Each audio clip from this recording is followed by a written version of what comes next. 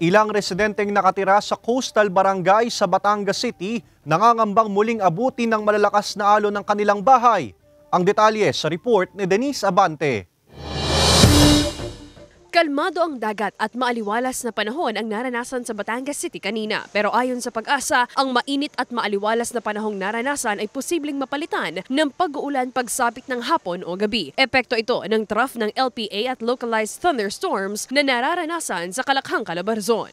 Mamayang hapon po, if ever po conducive po yung environment po natin sa formation ng thunderstorm, maaari po makaranas po ang Calabarzon at ibang bahagi po ng Mimaropa ng, ng isolated thunderstorm mamayang hapon. Kaya ang residenteng si Juan na nakatira malapit sa tabing dagat nangangamba sa muling paglakas ng alon sakaling makaranas muli ng malakas na pag-ulan. Pumapasok daw kasi sa loob ng kanilang compound ang tubig kaya kung minsay hindi na raw siya makatulog ng ayos dahil baka tuluyang pasukin ng tubig ang kanilang bahay. Dapat laging alerto pagka high tide, eh, malalaki ang alon. Binabantayan namin yung drainage namin para hindi magbara. Ang tubig ay makalabas sa pabalik pa punta sa dagat. Ari nga, ari nga naman, wag lang tumuloy para maging maayos naman panahon. Hindi masyadong mapekto ng mga tao.